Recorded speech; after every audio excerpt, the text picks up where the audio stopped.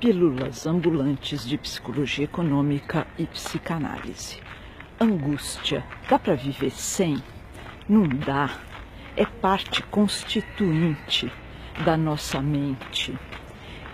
Pior é quando é de um tipo que a gente chama de persecutória, né?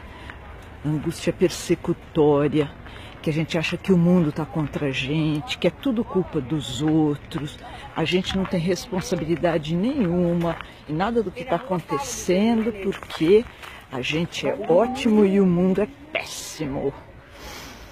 Aí fica difícil mudar alguma coisa, já que a sensação é de que a gente não tem participação nenhuma no que está acontecendo.